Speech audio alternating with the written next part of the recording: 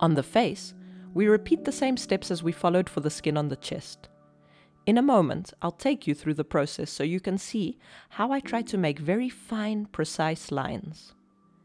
The face is the area we'll spend the most time on, because it's the part of the miniature where we focus the most attention, and it needs to look as good as possible.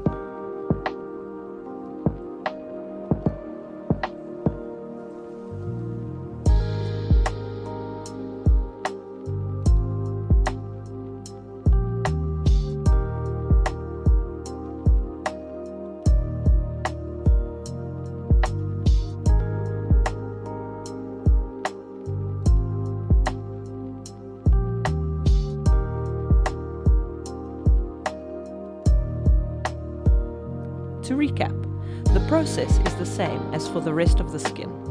We keep increasing the light value and joining the areas with mid-tone and dark glazes. This process of constantly adding more and less light will allow us to achieve quite a clean, refined finish.